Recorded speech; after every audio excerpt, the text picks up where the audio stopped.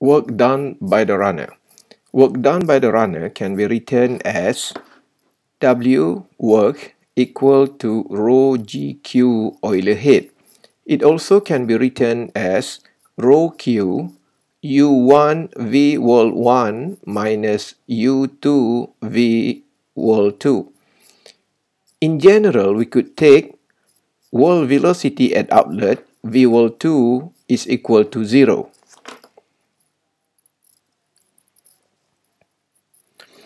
Hydraulic head. The hydraulic head is a value that measures the amount of mechanical energy available in water in a river, stream or even lake. The hydraulic, the hydraulic head is equivalent to the water level in a static water body.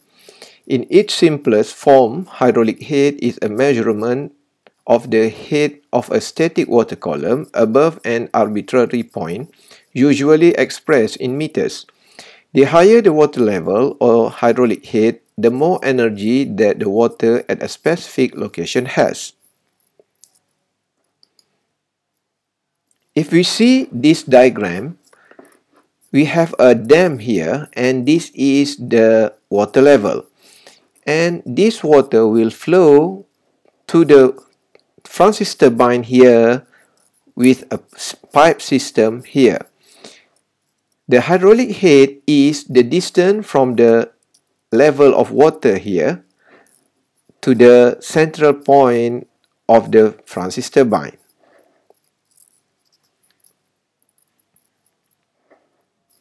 Effective head. There are a variety of losses known as head losses. These head losses occur as a result of friction in pipes. When head losses are accounted for, the actual amount of energy that can be harnessed is reduced. This reduced value for hydraulic head with the losses accounted for is known as the effective head. Again, from this diagram, we could understand that water from this dam here will have potential energy by this height. And then this water will flow to the Francis turbine here in a pipe system like this. As we learned previously, in pipe system like this, there are losses due to friction. Then, we need to deduct the hydraulic head here with the energy losses along the pipe.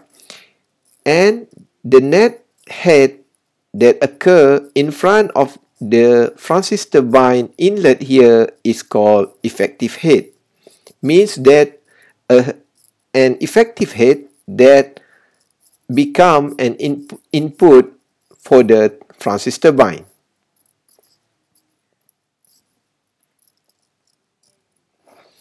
Power input of turbine. Power input of turbine can be written as P input equal rho GQ H effective.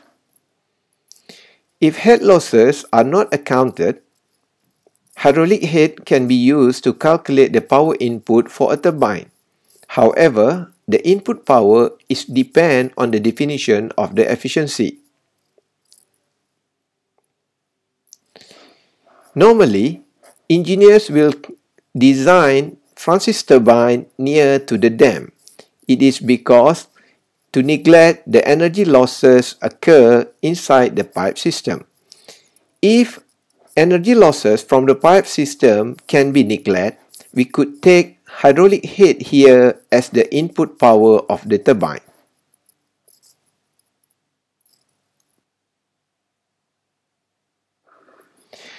Hydraulic efficiency.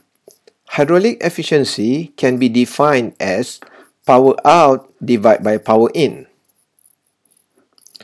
According to this diagram, we could see that power inlet for this Francis turbine is H effective and the power outlet output for this Francis turbine is Euler head.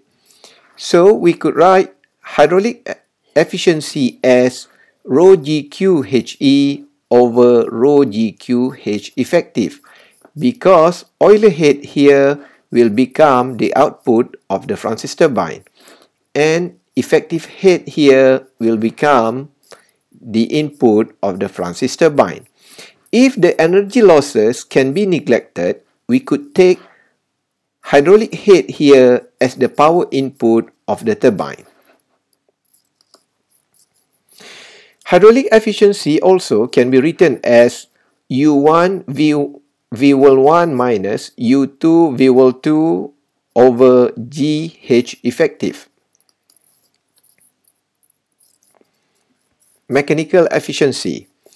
Mechanical efficiency can be defined as power out divided by rho GQ HE, Euler head. From this diagram, mechanical efficiency is the efficiency of power go through from the Euler head here, the output of the Francis turbine, to the transformer here.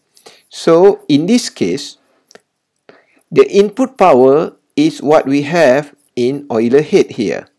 And the output power is the output that comes to transformer here. So, mechanical efficiency can be written as power out over rho GQ Euler head.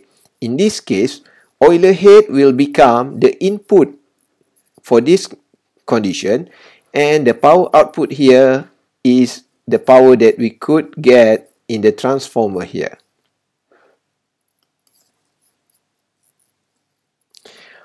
Overall efficiency. Overall efficiency can be defined as power out divided by rho GQ H effective. Overall efficiency is the efficiency of the overall system of the Francis turbine here. The power out here is the power that we could get in transformer here. And the input power is the input power from H effective here.